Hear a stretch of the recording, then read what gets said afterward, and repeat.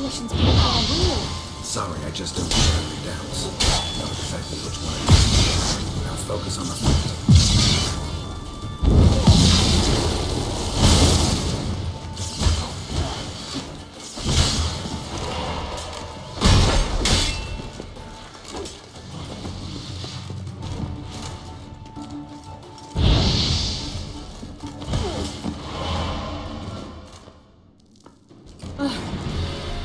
Anything like that ever happened to